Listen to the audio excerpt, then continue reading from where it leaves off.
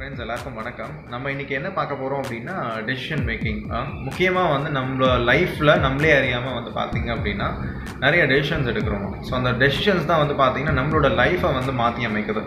So அதை எப்படின்னு நம்ம பார்க்க போகிறோம் அதுக்கான ஒரு ஸ்டோரி ஃபஸ்ட் பார்த்துடலாம். ரைட் ஸோ ஒரு ரெண்டு விதமான நபர் இருக்காங்க. ஓகே ஒரு person A and person B இதில் பர்சன் ஏ என்ன பண்ணுறாங்க அப்படின்னா அதான் ரெண்டு பேருமே வந்து பார்த்தீங்கன்னா ஒரே ப்ராடக்ட் பேஸ் பண்ணின ஒரு பிஸ்னஸ் வந்து ஸ்டார்ட் பண்ணுறாங்க ஒரே ப்ராடக்ட் தான். ஒரே ஆல்மோஸ்ட் ஒரே ஏரியான்னு வச்சுக்கோங்க. ரைட் ஒரே மாதிரியான ஒரு area right so business start பண்ணுறாங்க இதில் பர்சன் ஏன் என்ன ஆகுது அப்படின்னா அந்த ப்ராடக்ட் பேஸ் பண்ணி அந்த ஒரு பிஸ்னஸ் ஸ்டார்ட் பண்ணுறாங்க அந்த பிஸ்னஸ் வந்து நல்லா வந்து ஸ்ப்ரெட் ஆகணுன்ற ஒரு ரீசனுக்காக நிறைய அந்த ஏரியாவில் நிறைய அவேர்னஸ் க்ரியேட் பண்ணும். அந்த ப்ராடக்ட் பார்த்தீங்கன்னு சொல்லிட்டு அந்த சில கேம்பைன்ஸ் அந்த மாதிரி நிறைய விஷயங்கள் வந்து பார்த்தீங்க அப்படின்னா ஸ்டார்ட் பண்ணுறாரு பர்சன் ஏ ஸ்டார்ட் பண்ணதோட விளைவு என்ன அப்படின்னா கஸ்டமர் சைடில் வந்து பெருசாக அதுக்கான ரெஸ்பான்ஸ் இல்லை. மேக்ஸிமம் அப்ரோச் பண்ணும்போது அந்த ப்ராடக்ட்டை வந்து நீட் இல்லை. இப்போ எங்களுக்கு வேண்டாம். மேபி லேட்டர் ஃப்யூச்சரில் பார்க்கலாம். ஸோ அந்த மாதிரி வெரைட்டி ஆஃப் ரீசன்ஸ் நிறைய காரணங்கள் சொல்லி வந்து பார்த்தீங்க அப்படின்னா ரிஜெக்ட் பண்ணுறாங்க இதே தொடர்ந்து நடந்துகிட்டு இருக்க அந்த நபர் ஏன்ற நபருக்கு ஒரு ஸ்டேஜில் பார்க்குறாரு ஸோ இது வேலைக்கு ஆகாதுன்னு சொல்லிட்டு அந்த பிஸ்னஸை வந்து குவிட் பண்ணிடுறாரு. ஸோ இதே பிஸ்னஸில் இருக்கக்கூடிய பர்சன் பி என்ன பண்ணுறாங்க அப்படின்னா சேம் இதே மாதிரி ஒரு அவேர்னஸ் கொடுக்கணுன்றதுக்காக ஸ்டார்ட் பண்ணுறாங்க நிறைய வெரைட்டி ஆஃப் அவேர்னஸ் கொடுக்க ஸ்டார்ட் பண்ணுறதுக்கு நிறைய கேம்பெயின் அந்த மாதிரி ஏதாவது புது புது டூல்ஸ் வந்து ஸ்டார்ட் பண்ணுறாங்க ரைட் ஸோ அப்போ பண்ணும்போது கஸ்டமர் சைடில் வந்து பார்த்தீங்க அப்படின்னா பெருசாக அந்த அளவுக்கு ரெஸ்பான்ஸ் இல்லை அவங்க சைடில் அதே சேம் நிறைய ரிஜெக்ஷன்ஸ் வருது. நீட் இல்லை இப்போ தேவையில்லை. அந்த மாதிரி நிறைய ரிஜெக்ஷன்ஸ் வருது.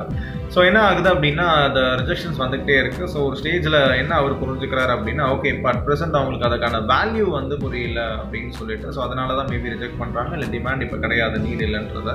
ஸோ இப்போ என்ன பண்ணுறாரு அப்படின்னா அதை அவாய்ட் பண்ணாமல் அந்த கஸ்டமர் பேஸ் யாருன்னா ப்ராஸ்பெக்ட்ஸ் யாருக்கு தான் பேஸ் இருக்காங்களோ கன்டினியூஸாக வந்து is keep on maintaining tension so ஒரு ஸ்டேஜ்க்கு அப்புறம் என்ன ஆகுது அப்படின்னா அதோட வேல்யூஸ் புரிய வைக்க வைக்க வைக்க உண்மையிலேயே அதுக்கான நீடு வந்து அங்கே க்ரியேட் ஆகுது. ரியலாகவே அதோட வேல்யூ புரிய ஆரம்பிக்குது. அப்போ அந்த பர்டிகுலர் uh, ஏரியாலேயே வந்து பார்த்தீங்கன்னா அவர் ரொம்ப சக்ஸஸ்ஃபுல்லாக அந்த பிஸ்னஸை ரன் பண்ணுறாரு ஸோ இப்போ ரெண்டு விதமான ஸ்டோரி பார்த்துருக்கோம். ஸோ இது ஆக்சுவலாக இந்த இம்பேக்ட் ஒருத்தர் வந்து அது அந்த பிஸ்னஸை குவிட் பண்ணுறது இன்னொருத்தர் அதே பிஸ்னஸில் நல்லா சக்ஸஸ் ஆகுறாரு ரைட் ஸோ இது இது இந்த இம்பேக்ட் இது கிரியேட் ஆகிறதுக்கான காரணம் அந்த நபர்கள் எடுத்த டெசிஷன் தான். ஸோ இதில் என்ன மாதிரியான டெசிஷன் என்ன மாதிரியான ரிசல்ட்டை கொடுத்துருக்குன்னு பார்க்கலாம்.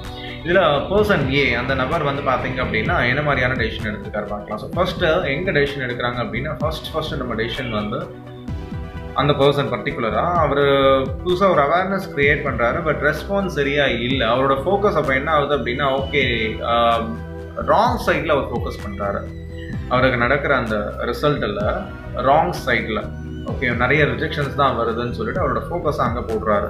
ஆனால் இதே பர்சன் பி என்ன பண்ணுறாரு அப்படின்னா ஓகே ரிஜெக்ட் ஆனாலும் எதனால் ரிஜெக்ட் ஆகுது? அவரோட ஃபோக்கஸ் வந்து எங்கே போகுது? ஒய் இட் இஸ் ஹேப்பனிங் எதனால்? அப்படின்னு சொல்லிட்டு வேல்யூ கம்மியாக இருக்குது ஸோ அதுதான் பேசிக் ஸோ அப்போ அந்த ரிசல்ட்டை கொண்டு வர்றதுக்கு அந்த வேல்யூ இன்க்ரீஸ் பண்ணால் போதும்னு சொல்லிட்டு ஸோ அந்த இடத்துல அவரோட ஃபோக்கஸ் இருக்குது ஸோ இப்போ ஃபஸ்ட்டு இதுவுமே நம்ம லைஃப்பில் நடக்கக்கூடிய ஒரு விஷயம். இப்போ நீங்கள் ஏதோ ஒரு ஜாபில் இருக்கீங்க ஏதோ ஒரு பிஸ்னஸில் இருக்கீங்க. இல்லை ஈவன் உங்கள் லைஃப்பில் நடக்கக்கூடிய நிறைய விஷயங்களில் நமக்கு ஒரு சில ரிசல்ட் வேணும்னு எதிர்பார்த்துட்டு இருக்கோம் பட் நமக்கு என்ன ஆகுது அப்படின்னா ஒரு பர்டிகுலர் ஸ்டேஜுக்கு அப்புறம் வந்து நம்ம அந்த இதை வந்து ஃபிட் பண்ணிடுற மாதிரி ஆகிடுது அதுக்கான ரீசன் நம்ம நடக்கிற விஷயங்கள்ல நம்மளோட ஃபோக்கஸ் எங்கே இருக்குது நமக்கு வேண்டிய விஷயத்துல நம்மளோட ஃபோக்கஸ் இருக்கா? இல்லை நமக்கு தேவையில்லாத விஷயங்கள நம்மளோட ஃபோக்கஸ் இருக்கா? அப்படின்றது தான் ஸோ அதுதான் வந்து பார்த்தீங்கன்னா டிசைட் பண்ணுவோம் ஸோ இப்போ ஃபர்ஸ்ட்டு ரொம்ப இம்பார்ட்டன்ட் டெசிஷன் நம்மளோட ஃபோக்கஸை கரெக்டான இடத்துல வைக்கணும். ரைட் சைடில் ஸோ இதை. ஸோ இது அப்படியே என்ன ஆகுது? அவரோட ஃபோக்கஸ் நிறைய ரிஜெக்ஷன்ஸில் போகுது. ஸோ ஒரு ஸ்டேஜில் வந்து ஃப்ரஸ்ட்ரேட் அவர் தப்பாக வந்து புரிஞ்சுக்கிறாரு. ஓகே இப்போ அவ்வளோதான் எல்லா கஸ்டமர்ஸும் அப்படி தான் இருப்பாங்க. எல்லாரும் அப்படி தான் ஸோ இப்போ இது ஒர்க் அவுட் ஆகுதுன்னு சொல்லிட்டு அந்த நடந்த சினாரியோ அவருக்கு ஏற்படுறதில்ல ஒரு ரிசல்ட் கிடைக்கிறதில்ல.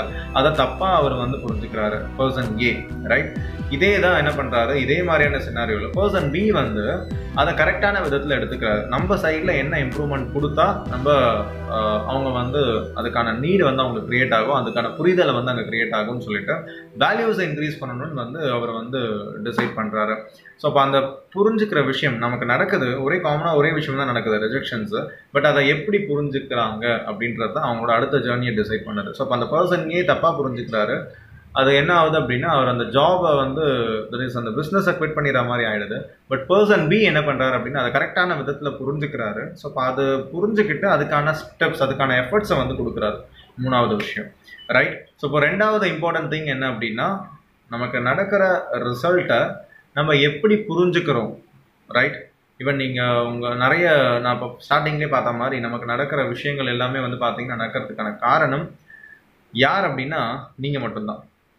உங்களோட அப்பாவோ அம்மாவோ இல்லை ஃபேமிலி ஃப்ரெண்ட்ஸ் இல்லை ஆசிரியர்கள் ஆகட்டும் இல்லை நீங்கள் ஏதோ ஒரு பிஸ்னஸ் பண்ணுறீங்க அதில் இருக்கக்கூடிய மென்டாஸ் ஆகட்டும் உங்களோட சக்ஸஸும் ஃபெயிலியரும் டிசைட் பண்ணுறது யார் அப்படின்னா நீங்கள் தான் அதில் அவங்க யாருமே வரமாட்டாங்க. ஸோ அவங்க ஏதோ ஒரு விஷயம் சொன்னால் கூட அதை எப்படி நீங்கள் புரிஞ்சுக்கிறீங்கன்றது இருக்குது ரைட் ஸோ எல்லாமே ரெ- இந்த ரெண்டாவது இம்பார்ட்டன்ட் என்ன அப்படின்னா நம்ம எப்படி நம்மளுக்கு நடக்கிற விஷயத்தை நம்ம எப்படி எடுத்துக்கிறோம்? என்ன நம்ம புரிஞ்சுக்கிறோம்? கரெக்டான விதத்தில் பர்சன் பி புரிஞ்சுக்கிறாரு தப்பான விதத்தில் பர்சன் ஏ புரிஞ்சுக்கிறாரு. ஸோ அதுக்கான ரிசல்ட்டை தான் அந்த குவிட்லேயும் ஆகுது சக்ஸஸ்லேயும் ஆகுது. இது தொடரும் போது என்ன ஆகுது? பர்சன் ஏ வந்து குவிட் பண்ணிடுறாரு ஜா பிஸ்னஸை ரைட் பெருசாக வேறு எதுவும் எஃபர்ட் போடுறதில்ல. இந்த பர்சன் பி வந்து இந்த கரெக்டான விதத்தில் புரிஞ்சுக்கிட்டு கரெக்டான எஃபர்ட் கொடுக்குறாரு. ஒரு ஸ்டேஜில் நல்ல சக்ஸஸ் வந்து ரீச் பண்ணுறாரு ஸோ இப்போ மூணாவது டெசிஷன் என்ன அப்படின்னா புரிஞ்சுக்கிட்டு என்ன ஓவர் கம் பண்ணுறதுக்கான எஃபர்ட்ஸ் எந்த இடத்துல கொடுக்கணுன்றத கரெக்டாக கொடுக்கும்போது அதுக்கான ரிசல்ட்ஸ் கிடைக்கும். ஸோ இந்த மூணு டெசிஷன் வந்து ரொம்ப இம்பார்ட்டன்ட் எந்த இடத்துல நம்ம ஃபோக்கஸ் பண்ணணும் அண்ட் நமக்கு நடக்கிற விஷயத்தை நம்ம எப்படி புரிஞ்சுக்கிறோம்? ஸோ புரிஞ்சுக்கிட்டு அதுக்கான ரியாக்ஷன் நம்ம எப்படி அதுக்கு ரெஸ்பாண்ட் பண்ணுறோம் என்ன மாதிரியான எஃபர்ட்ஸ் எந்த இடத்துல கொடுக்குறோம்? இந்த மூணு விஷயங்கள் நீங்கள் பண்ணக்கூடிய எல்லா இதுலேயும் வந்து பார்த்தீங்க அப்படின்னா ஃபோக்கஸ் பண்ணி நீங்கள் பண்ணும்போது நீங்கள் எதிர்பார்க்குற நல்ல விதமான ரிசல்ட்ஸ் வந்து கிடைக்கும். Right so all the best stay blessed thank you so much